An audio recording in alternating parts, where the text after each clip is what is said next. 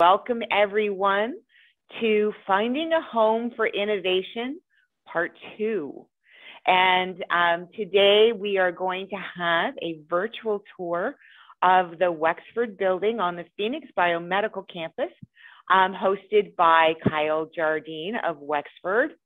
And um, Kyle has been a really close, wonderful partner working with us as we saw this go from shovels and dirt um, to a skeletal frame and now to an open, fabulous facility for innovation right in the heart of downtown Phoenix. And uh, with that, I would like to turn it over to Kyle so that you can uh, take us on a tour. Thanks, Joan. Appreciate that. Good morning, everybody. Uh, see some familiar faces and some that I do not know. Uh, so look forward to, to meeting all of you and uh, taking you a little, on a little little tour and giving you some more information about uh, our building as well as uh, the, the Phoenix Biomedical Campus.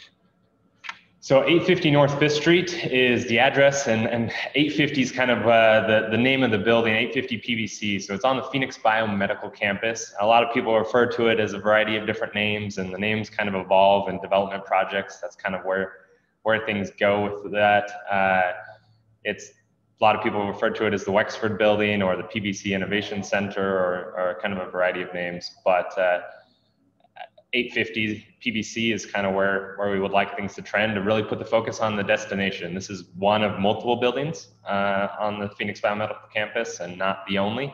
Uh, and so we, we want to kind of leverage that. Uh, I'll take you through a, a few slides, and uh, but first I'm gonna I'm gonna kick off with a, a little video, uh, giving you a little taste of what what it looks like today and and uh, what it would look like if you were here in person with me in the building. So I'll share my other screen here and, uh, and show you this video.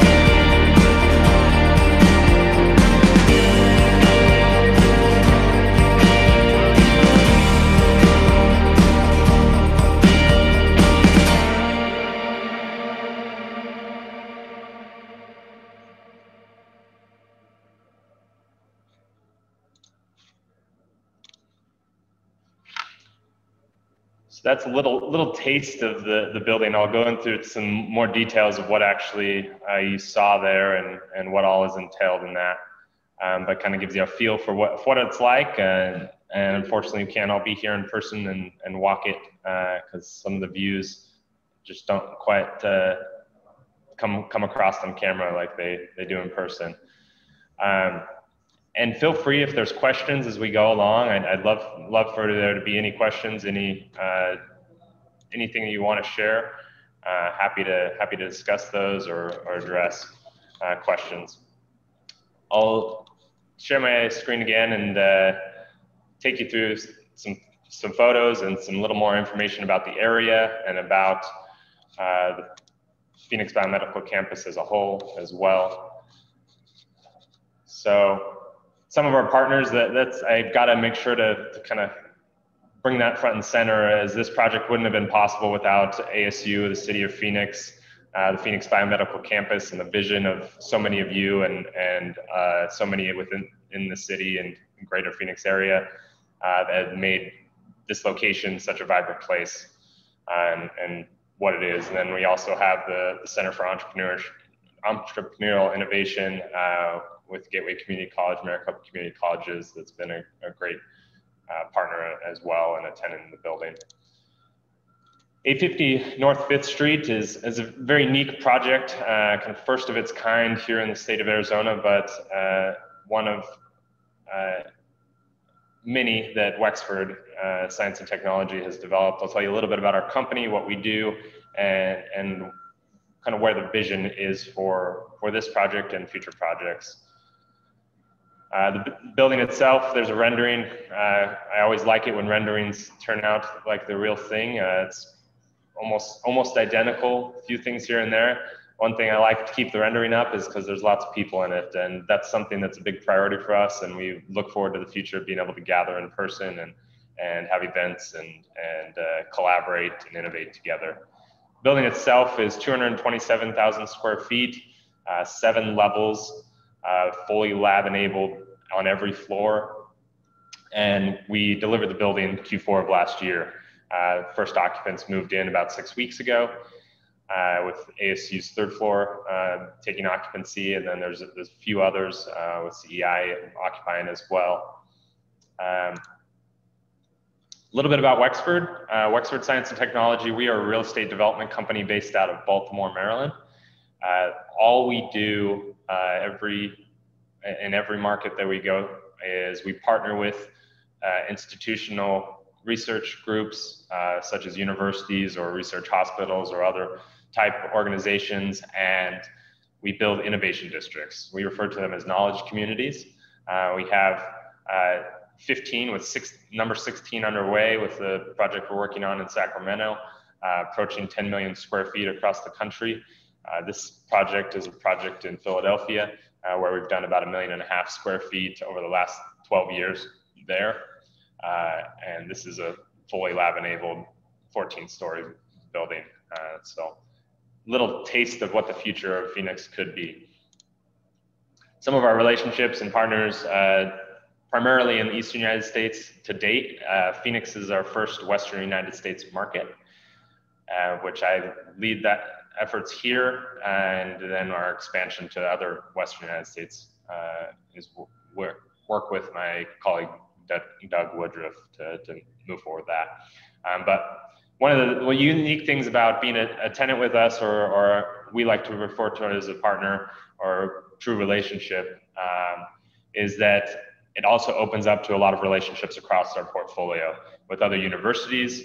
Uh, we do summits uh, with our university partners, with our corporate partners, uh, and provides a lot of connection or soft landing opportunities in other markets as well. What, uh, what makes a knowledge community? Why, why a knowledge community? Why an innovation district? Why does that matter? As anchoring with an institutional value and the commercialization of research that comes with institutions.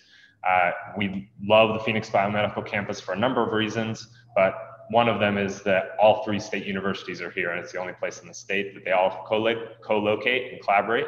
There's collaborations other places in the state, but the presence here is is very strong uh, with all three state universities, and then also with a variety of others that are in close proximity with Creighton University building their nursing and medical school uh, just a few blocks away. Uh, innovation infrastructure, so allowing for flexibility in, in the uses. Excuse some of the background noise. Uh, sorry, we still got some construction going on adjacent to us. Busy, busy downtown, and it's wonderful. Uh, small labs, shared lab facilities, uh, events and programming, really activating the space with a variety of users, a variety of uses, uh, and a variety of hours. And then the environment, just uh, of a mixed use, strong environment. We love the live, work, play, learn, discover, heal kind of model, right? It's not just just one thing that's going on in the area or the neighborhood. It's it's a whole variety, and that's really what builds that community and an engagement and collaboration opportunities uh, for workforce development, for connection with the arts community, connection with music music community, uh, connection with the different academic institutions, the city, the nonprofits, uh, not just focused on corporate growth. Um, so what elements does the Phoenix Biomedical Campus have uh, that kind of fit that? Built environment is, is phenomenal. There's been a lot of, of growth and still a lot of runway. Uh, that's one of the things we really like is uh, we try not to go to a market without the ability to build a million square feet or more over a 10, 10 year period. And then we are a long-term hold company as well. And uh, we, we've been around for 15 years and still manage every asset that we've built and are very involved in each of those, those communities. Uh, we also love about the Phoenix Biomedical Campus that it's not in every location that we go is there's a ton of residential opportunities, restaurant opportunities, hotels, proximity to the airport, proximity to the convention center, uh, proximity to government agencies. There's a lot that's going on in the built environment adjacent to the site. Uh, innovation ecosystem is strong as well. Uh, anchored, the Phoenix Biomedical Campus is kind of anchored by Translational Research or Translational Genomics Institute, TGen, and uh, many of you know lots more about their history than I do. Uh, but phenomenal group that we've enjoyed uh, rubbing shoulders with and being neighbors with, and the spin out companies that uh, they continually produce. Uh, ASU, uh, the HEAL Lab, which we can touch on later if, if anybody has questions. Health Entrepreneurship Accelerator Lab is, is has a location in our first floor of the building, and then CEI also has an expansion to their incubation space, uh, the Gateway campus, this in our building on the first floor. And then workforce development, economic inclusion, really connecting with being able to help people upskill and grow and get certifications. We love being next to the bioscience high school. I have four interns working with me right now from bioscience high school, and it's it's we look we're looking for great uh, partnership there and future internships and, and growth for those wonderful students that are are uh, super sharp and and excited about their career opportunities uh, variety of others and a lot of things that uh, your groups are are involved in or are connected with, and then such as AZ Bio and other programming.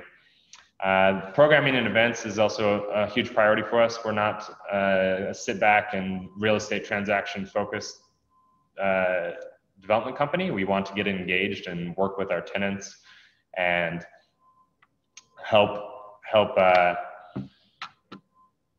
really make connections between our tenants and our university partners and, and others. So,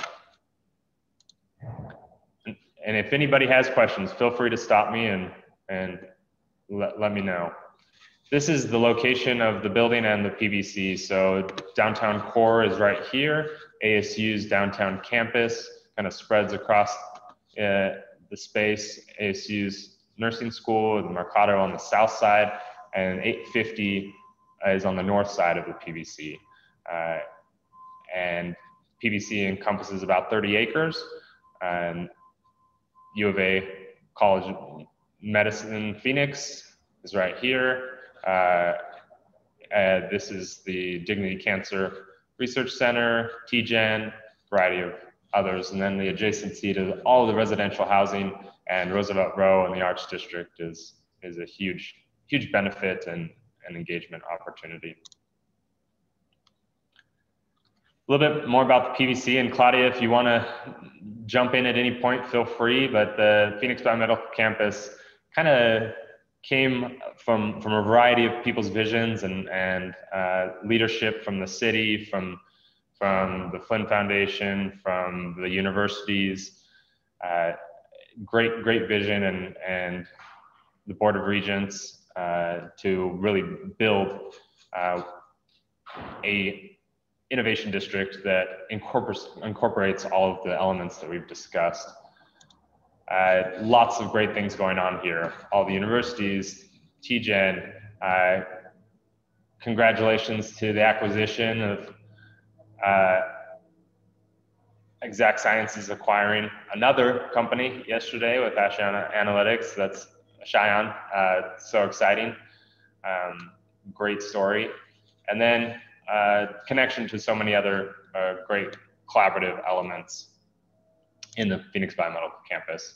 Here's just kind of some pictures. Uh, I, I enjoy this picture that the city put together and a cartoon scenario of, of all of the awesome elements that are here. And when you see it in this light, it uh, helps you realize that there's just a ton going on um, with the connections of from entertainment to light rail to connections to the airport to the built environment with TGen and all of the companies that are located in their building with them and connections to all of the major hospitals with Banner and Dignity, St. Joseph's, Phoenix Children.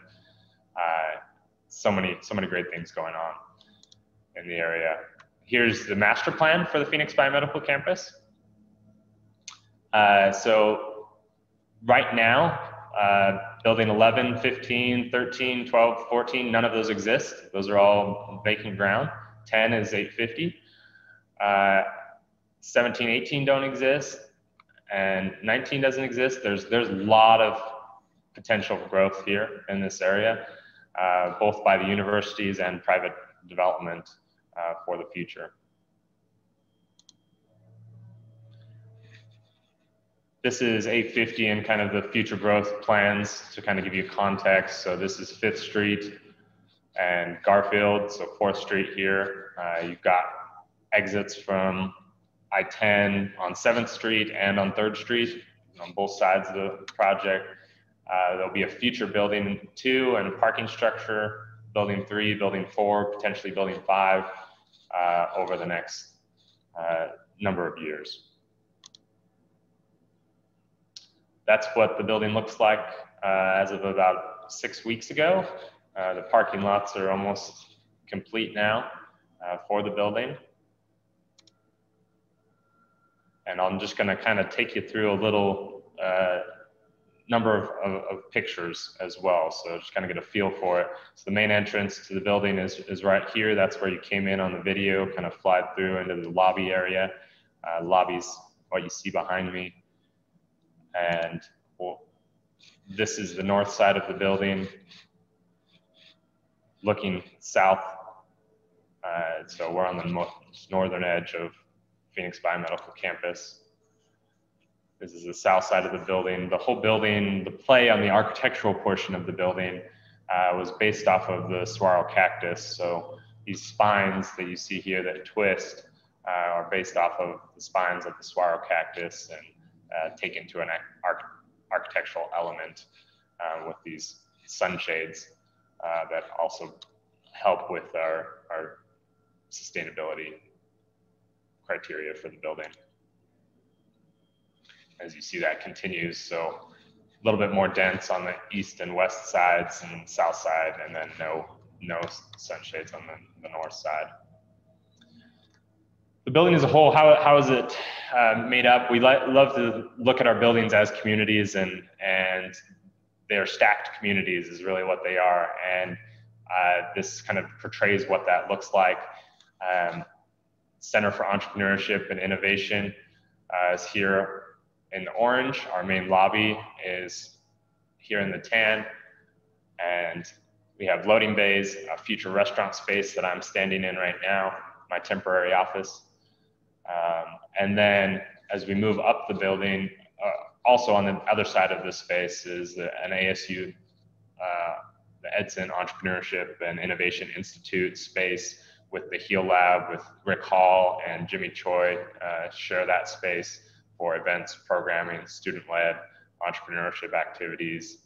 Um, and then as we work up the building, uh, start getting the different layers of, of innovation and connection and collaboration. Second floor is half of a conference center, and I'll show you some pictures of some of these areas. Uh, half a conference center for ASU use, a variety of different conference rooms, uh, large break room, and then the second half of the second floor is the Translational Research Center, uh, which is human clinical trials can be performed there. Uh, it's 11 uh, flex exam rooms that participants can come and they can be fed a meal, do blood draws, process the draws or sample testings right there in the lab adjacent to it.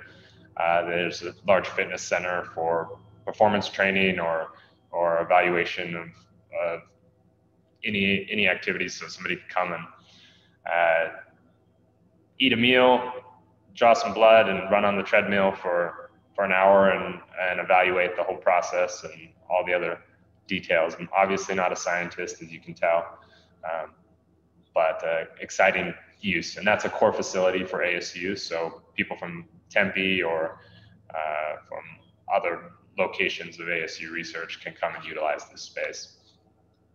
The third and fourth floors are full wet lab spaces. So the lab benches that you saw in the video are, are images from those floors.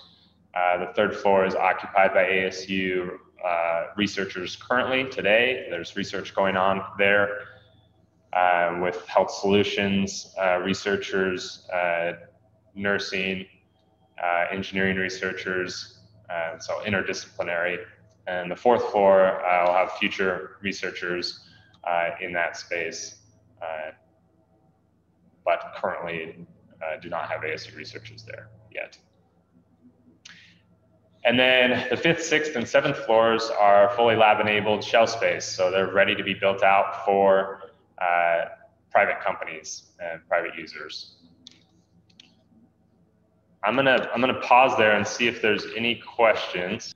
Uh, design team and construction team, great great question, Eric Daniels. Uh, so the design team was HKS uh, with Henderson Engineers and a variety of other consultants. Uh, list too long to start going through all of them. So lots of great consultants that did a, a ph phenomenal job.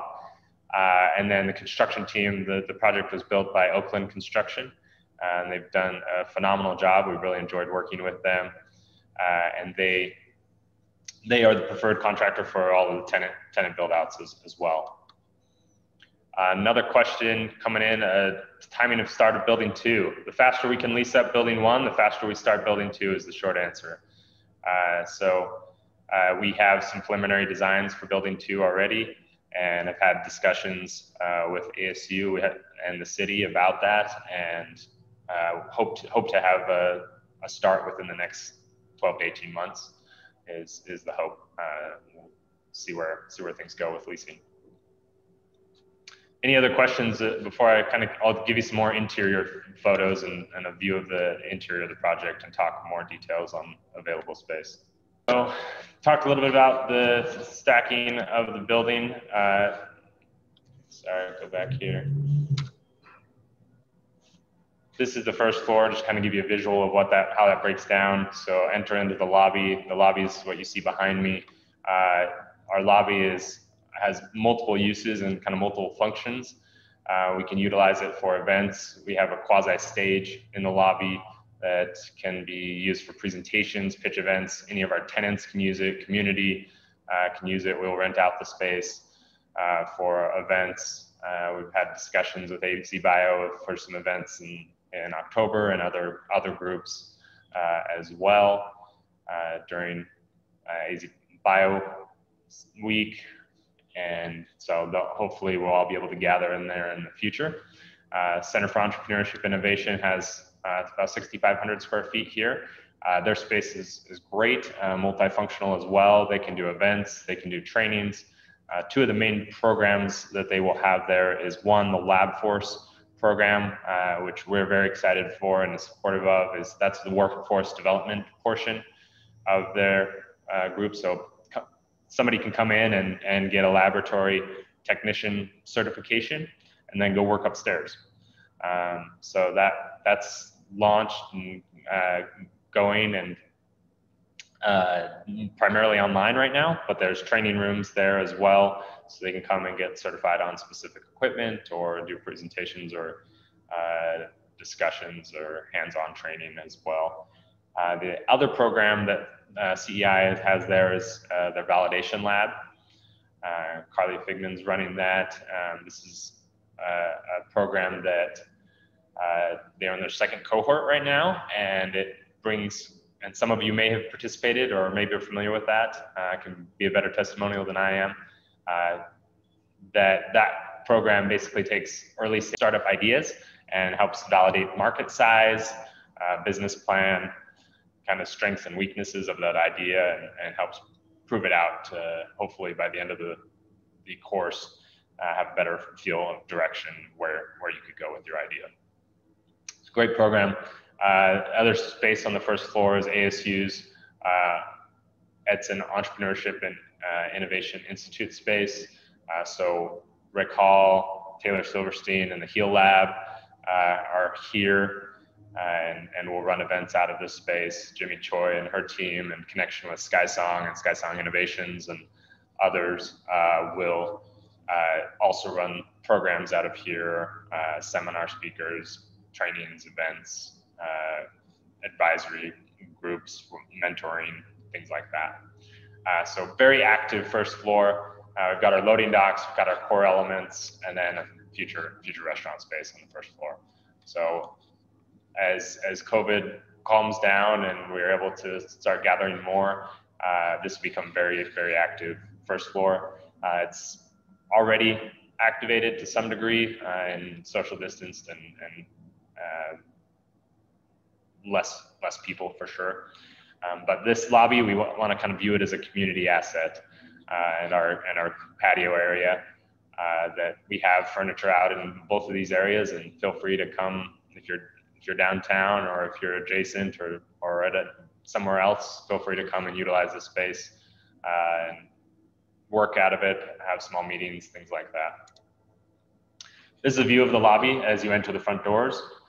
Uh, so variety of seating options, flexibility. This is the quasi stage that I mentioned, so we can have presentations here or other uh, pitch events, uh, variety of different things, or we can do small receptions or things like that in this space. This is a view of, uh, this is an older picture. We've got a table in here and a few things that way uh, sense, but I wanted to give you a sense of some of the local artists. We've loved working with Roosevelt Row and the artists that are here. We worked with ArtLink, uh, a local art uh, procurement group and connection. So we, we commissioned these three pieces. I'll show you them in a little bit more detail, but they all tie back to the blend between life sciences and the desert flora and what's, what's going on there. So this is a piece by Kayla Noonan. Uh, this is DNA strand of the saguaro cactus and the literal blending of the saguaro cactus with the DNA. Um, and then there's some kind of hidden figures and a variety of other things that she played on to uh, take the desert flora and make it a little bit more cell-like or amoeba-ish or uh, life science twist to it. So this is a piece called Hybrid Forms by Jennifer Stratman. Uh, this is molten uh, bronze that she is made into these amoeba shapes. And then there's a variety of different uh, plays on and things. And then she also did casting in the bronze elements of different cacti or succulents or flowers uh, out of her garden or some sculptures. So pretty fun piece. Uh, hard to capture in a photo, looks way better in person.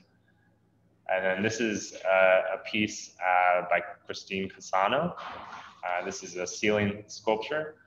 So this is suspended from the ceiling in the south lobby. And this piece is based off of the DNA sequence of the saguaro cactus. So Christine worked with an ASU researcher, got the sequence of the DNA, uh, the DNA sequence of the saguaro cactus and, and kind of took it in her own form and her own style. This is a view of the entrance to the CEI space, the Lab Force program, um, and then there's a variety of spaces, conference rooms.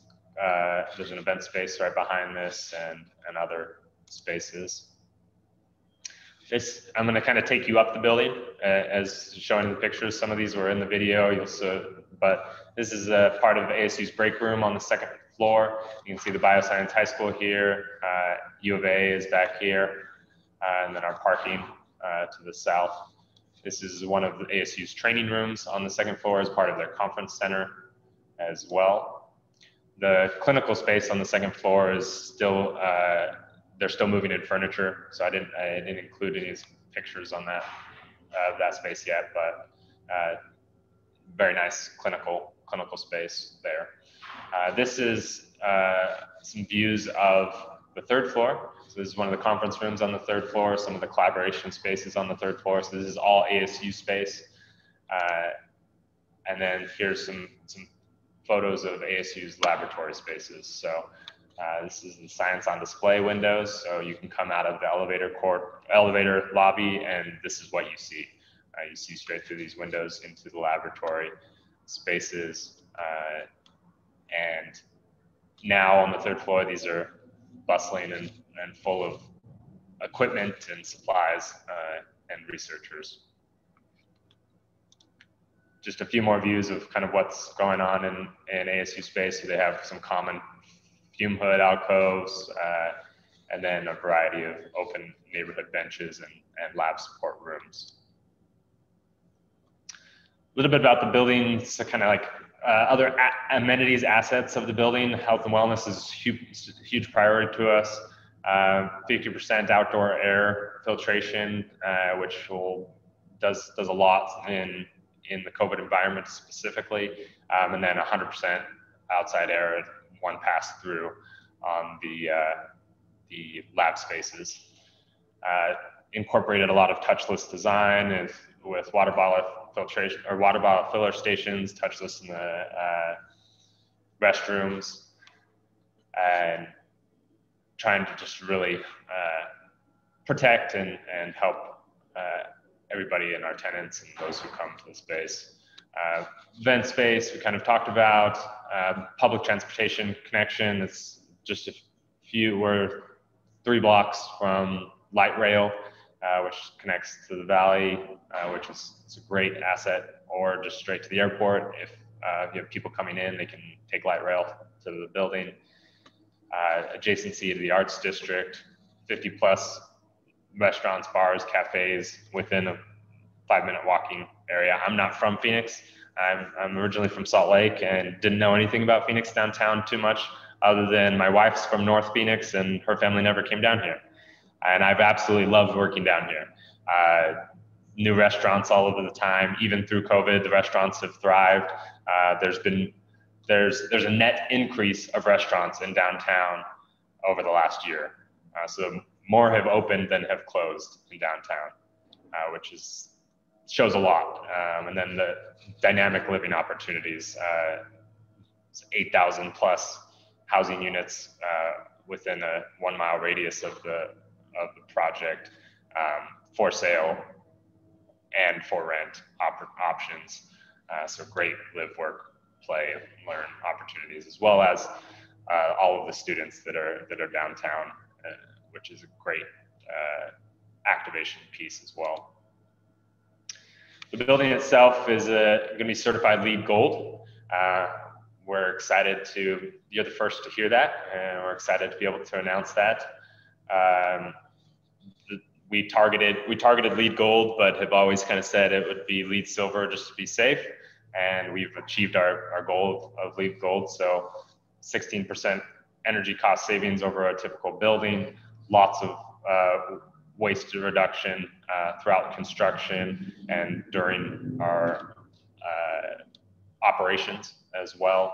Um, and then a variety of other things, uh, such as we have uh, lockers and showers in the in lower levels so people can bike to work and store their bike here and, and shower if they need to um, before or after work and as well as water water uh, efficiencies energy efficiencies um, and then talk a little bit about the space that's available so I'll, I'll pause here again uh, let me know if there's any I'm going to check the chat, see if there's any questions. Uh, let's, let's see here. Jared, joined late. Are there any plans uh, in the park for pilot scale manufacturing as tenants growing?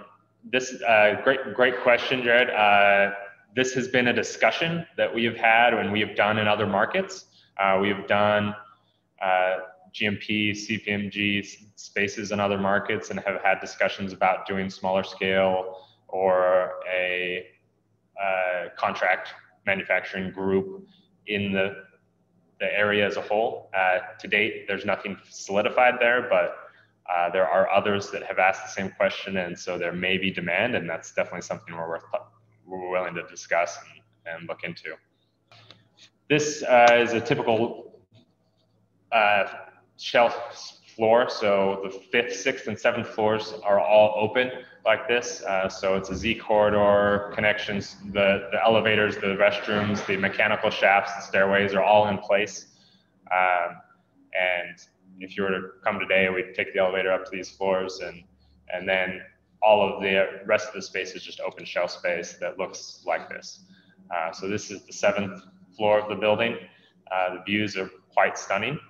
Uh, I love the, the thought and, and the reality that's going to happen here of lab, lab work with a view, right? Lab spaces with a view. Uh, a lot of times, especially in, in Phoenix, uh, the laboratory spaces are on a single level or in the basement or uh, just not in the best uh, view opportunities. And this completely changes that. And this is what we've seen as, as a great asset for employee retention, uh, satisfaction of work, uh, being able to have all the natural light that is uh, in the space and the, the, awesome views. So this is the view to the north. You can see floor to ceiling glass there. This floor has 15 foot eight uh, floor to ceiling height. Um, the fifth and sixth floors have 14 foot eight uh, floors. So this has a one foot additional um, exhaust, HVAC, electrical, plumbing is all stubbed to the space, so ready to go uh, for specific build outs. This is a view on the south side of the seventh floor. So you can see Dignity Cancer Center right here. Uh, U of A College of Medicine is just to the south there.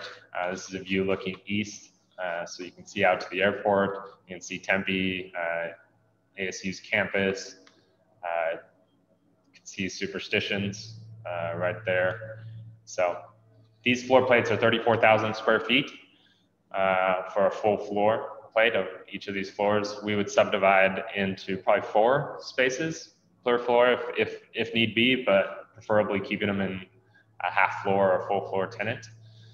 Um, so a, a, quarter of the floor, give or take nine, 10,000 square feet um, would be, be one of those spaces.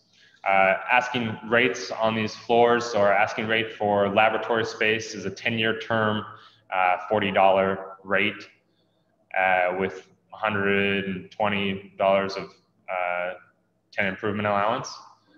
Uh, those are all negotiable and, and can be worked through. A lot of it depends on the strength of the company's financials and history of the company. Um, and can be adjusted. If it's if it's straight office, though, that's not preferred. Uh, we want this to be a fully lab building. If it's straight office, there's a lower rate at uh, asking rate at thirty dollars triple net. That's an annual rate. Uh, so is the forty dollars triple net annual rate. Um, and that would be a 10-year term with $70 of uh, tenant improvement allowance. So that dollars to be able to build out build out the space for those who are not familiar with that. Um, And our, our bro brokerage uh, is Alexander Loy with Colliers International. Uh, so she's uh, recently joined our team and leading out uh, for us in attracting tenants from primarily focusing on outside the market, but also inside the market. Uh, we've got great relationships with economic development with City of Phoenix and Claudia, her team, and Chris Mackay, and all of the others that have been so supportive. So I appreciate the time today. I'll open it up for questions again, and if there's anything else that I can can or answer, happy to do so. Uh, the bay size for the loading bay, uh, John, I believe that's your answer, or is the bay size between columns? Lab module, so on the floor. Yeah, 30, 30 foot columns spacing. Um, so very significant columns. columns no, good. 30 by 30? Give or take. There's some areas that's larger, some areas that are smaller, just depending on how the, how the layout is. But I'm not trying to get too far into the weeds. nope, nope. I, I, I, in, into the weeds is totally fine. We've got time. If there's specific questions, happy to happy to answer them. And I, I can see that the sunlight is making me look really strange right now. Sorry. I'll turn my camera here, try to get some of that sun off. Maybe, maybe not. It's like they're trying to beam you up to the mothership. I get I get some morning reflection. Uh, I just placed my desk here a couple weeks or like two weeks ago, and I'm still trying to figure out where the sun lands on it. But um, any any other questions about the space specifically,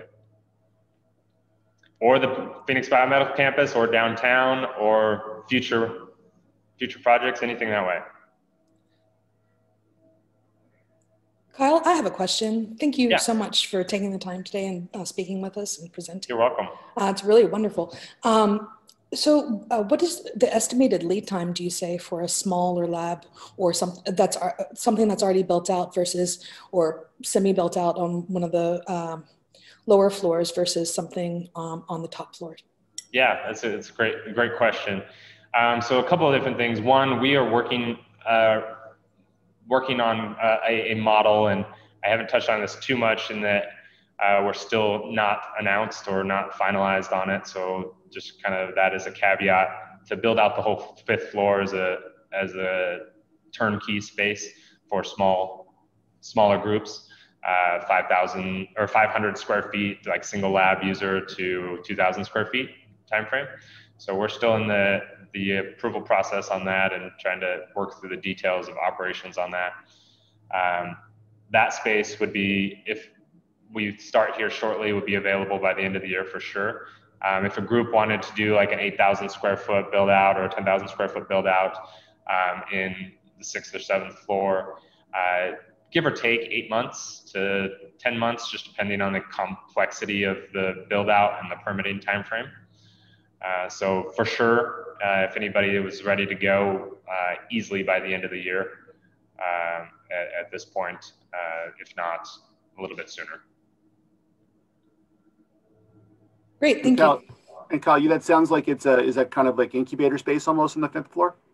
That's that's the goal. Yeah, uh, we we we wouldn't it wouldn't be an incubator in that uh, we're not going to be taking equity of company or anything like that. We wouldn't be exchanging rent for equity or anything in that regard. I would be a it'd be a straight real estate transaction to some degree, um, but allow for the incubator scenario and environment, right? Of collaboration with other companies, 10 to 15 companies on the floor, um, and the opportunity to collaborate and rub shoulders with those groups. All private lab scenarios, so we wouldn't do shared bench uh, at this point that haven't seen the demand for shared bench at, in the market yet. Um, and it would be a full service rate as well. So it'd be higher rates than what we discussed. Uh, that's the big part that we're still trying to finalize uh, is how that trying to get that as low as possible uh, for the market. Um, and those that would include internet re- reception, utilities, uh, some shared some shared equipment, shared services. So wanted to announce a few things and and say Great. thank you very much, Kyle, um, again. And uh, so this session is recorded and we will be posting it to the AZBio website under the peer session, as well as emailing the link to the recording to um, all registrants. So uh, just in case the uh, there was a problem with the link getting in, uh, sorry there, Jared. Um, we will e uh, email you the full recording um, of the session to that. And um, secondly, I wanted to remind everyone about the March 16th uh, AZ Bio Peers session, uh, which we will be hosting with GPEC and Sun Corridor um, to discuss uh, recruiting, uh, what Arizona is doing to recruit companies um, and talent to the Valley uh, and to the greater uh, Arizona, to Arizona. Um, so that's going to be on um, at 8 o'clock on March 16th, and um, it'll be in the loop um, for registration link, or you can go to our website to register for that. Uh, it seems like there are a couple questions in the chat. I am just putting in my contact information for everybody. So there's my cell phone and my email. If anybody has questions, feel free to, to grab those uh, and look forward to connecting with anybody. And we are doing small in-person tours, uh, socially distanced with masks. Uh, so if anybody is looking to, to come see the space in person, happy to schedule that individually uh, and be safe in doing so. We definitely look forward to meeting you in person and seeing the building in person. Um, and it's, thank you. Thanks, everybody. I appreciate you joining and spending some time with me this morning and appreciate your interaction and uh, all that you guys do for the industry.